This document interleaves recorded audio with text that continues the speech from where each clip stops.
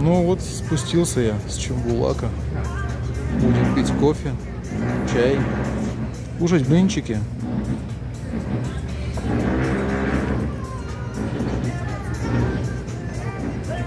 Папа счастливый, довольный. Мечта папы сбылась.